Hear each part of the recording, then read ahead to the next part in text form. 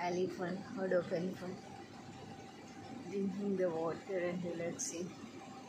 Elephants, near olifants, olifants River.